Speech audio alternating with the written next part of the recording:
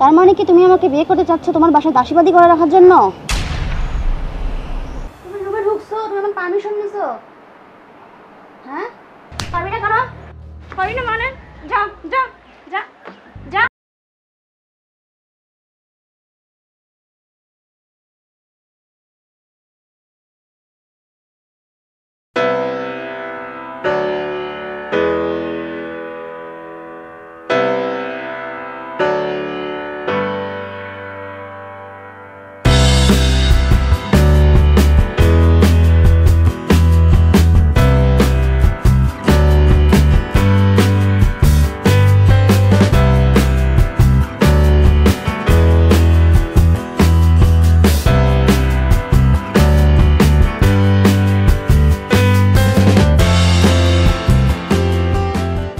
আসার টাইম হলো তোমার?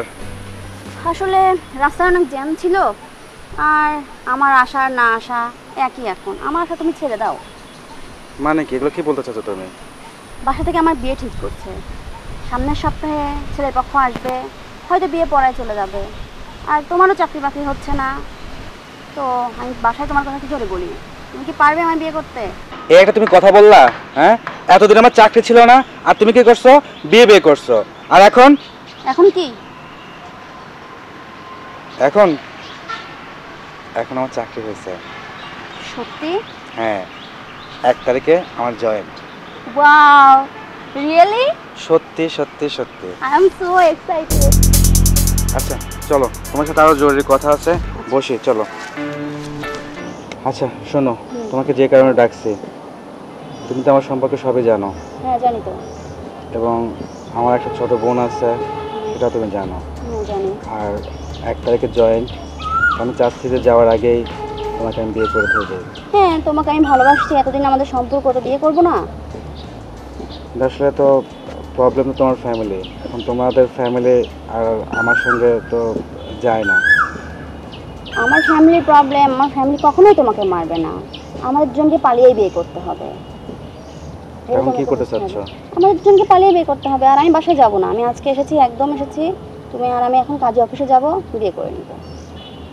সেটা হয় না আমি করব। সেটা প্রবলেম নেই। কিন্তু আমাকে একটা কথা দিতে হবে। বলো কি কথা? আমাকে কথা দাও যে আমার মা মরা বোনটাকে তুমি দেখে রাখবা। তার মানে কি তুমি আমাকে বিয়ে করতে চাচ্ছ তোমার বাসায় দাসীবাদী করে রাখার জন্য? এখন তো তাই মনে হচ্ছে। তুমি ঢাকায় যে জব করবে আর আমি ওকে দেখাশোনা করব বাসায় বসে?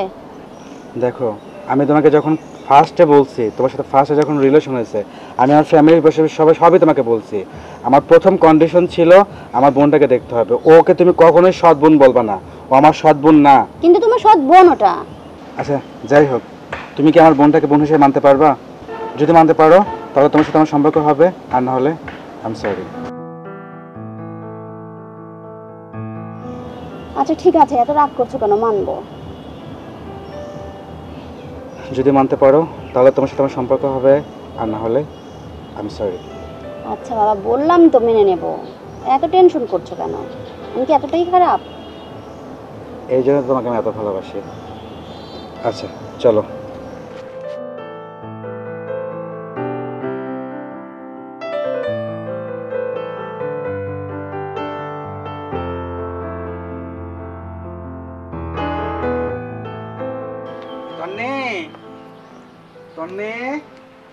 আরে ভাইয়া।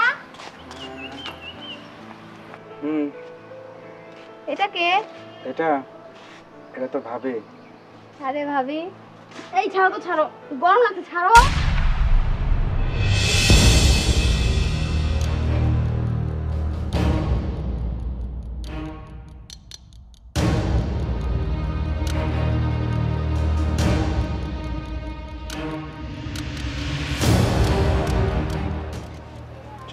চলো বাসা মতো চলো।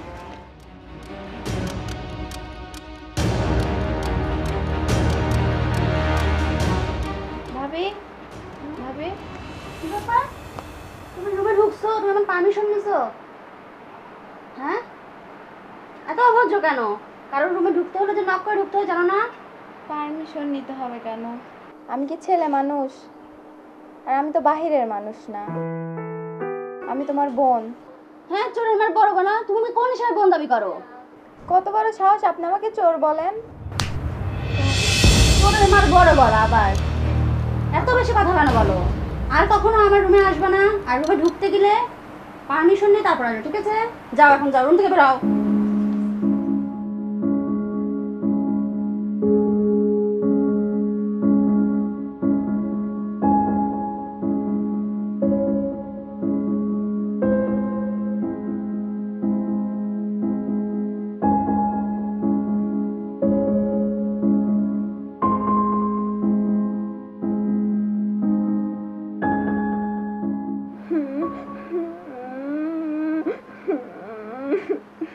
কিরে তন্নি ভাইয়া?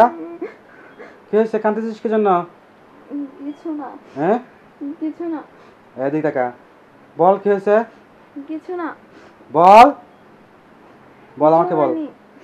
এদিকে আমাকে বল। কিছু হয়েছে? কি হয়েছে? বল। তো ভাবি কিছু বলছে? হ্যাঁ না কি বলব সত্যি করে বল। কিছুই বলেনি। আমাকে বল সত্যি করে বল। কিছু বলছে? না কিছু বলেনি।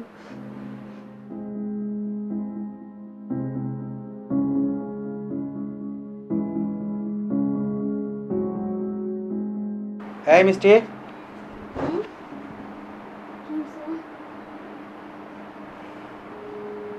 কান্না করছে কেন? আমি জানি না তো। জানো না মানে? সত্যি করে বলো কান্না করছে কেন? আশ্চর্য ও কেন কান্না করছে? ওকে জিজ্ঞাসা করো আমাকে কেন জিজ্ঞাসা করো? তুমি জানো না? না আমি কিছু জানি হ্যাঁ? শোনো আমি চোখ দেখলে বুঝতে পারি ওর কি হয়েছে। বলো কি বলছো? আমি কিছু বলি নাই। শোনো আমি তোমাকে বিয়ের আগে একটা কথা বলছিলাম। যে আমার কাছে সবচেয়ে বড় সম্পদ সে হচ্ছে আমার বোন। আমার বাবা যখন মারা যায় তখন আমার বোনকে আমার হাতে তুলে দিয়ে যায়। আমি তোমাকে বলব ওর চোখে যদি আর এক ফোঁটা চোখের পানি পড়ছে তখন তোমাকে এই বাড়ি থেকে আমি বের করে দেবো। কথা যেন মনে থাকে। তোমার এত বড় সাহস? তুমি তোমার ওই সৎ বোনের জন্য আমাকে বাসা থেকে বের হয়ে যেতে বলতেছো? কোথাকার কোন রাস্তার মেয়ে কিনা?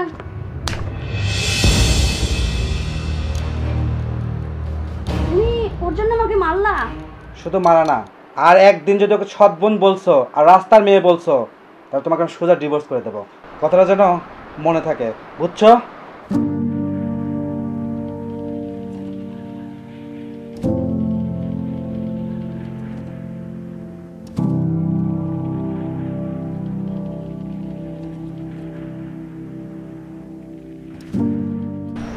জানিস বান্ধবী, আমার ভাবি আমাকে একটুও দেখতে পারে না।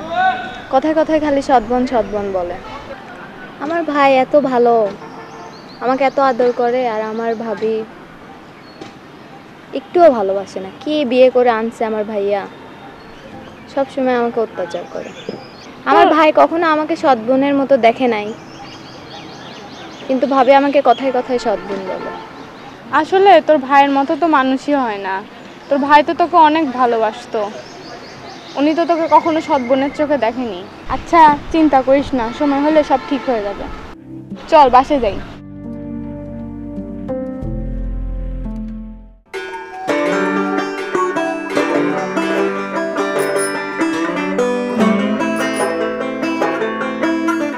আচ্ছা শোনো। ওকে তোমার হাতে দিয়ে গেলাম। আচ্ছা ঠিক আর ওকে দেখে শুনে রাখো আচ্ছা। বুঝছ?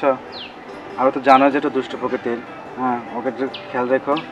আসুন ভাবি যা বলে ভাবির কথা সব শুনবি ঠিক আছে? কোনো দুষ্টমি করবে না এই? আচ্ছা। যেভাবে চলতে বলে সেভাবে চলবে ঠিক আছে। আচ্ছা। থাকো হ্যাঁ? আল্লাহ আল্লাহ হাফেজ।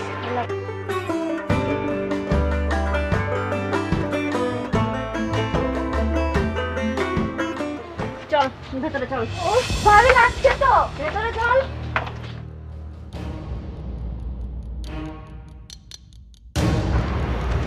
আরে দোস্ত কি অবস্থা? এই তো কই যাস? ব্যাগ ট্যাগ নিয়ে? ও দোস্ত তোকে তো একটা গুড নিউজ দেওয়া হয় নাই। কি দোস্ত? আমার তো চাকরি হয়ে গেছে রে। আগামী আগামীকালকে জয়েন্ট বুঝছিস? আমি এখন ঢাকা যাচ্ছি। আরে ঢাকা যাবি কেমনে? আমিও তো ঢাকা যেতে লাগছিলাম। কেন কি হয়েছে? আজকে তো হরতাল। পুলিশ কি? তাহলে এখন কি করব? আজকে তো হরতাল দোস্ত। অন্য আর একদিন যা। তো অফিসে তো ফোন দিতে হবে। না ফোন দিলে পর হ্যাঁ অবশ্যই ফোন দিতে হবে। ফোন দিলে পর বুঝবে সারা বাংলাদেশেই তো হরতাল। তাহলে তো তুই আমার একটা অনেক উপকার উপকার করলে তাহলে তো আর যাওয়া লাগতেছে না। আচ্ছা চল তাহলে। হ্যাঁ সেটাই ভালো চল। তো ফোন দিতে হবে। ও ভাবি লাগছে তো। ধর যা পানি ভরে নিয়ে আয় যা। আমি তো প্রতিদিনই ভরে দেই আমার হাত আজকে হাত ব্যথা। হাত ব্যথা মানে? আমি পানি ভরতে বলছি তুই পানি ভরবি যা। আমি পারব না। পারবি না কেন? পারবি না মানে? যা যা যা যা যা ওঠ যা।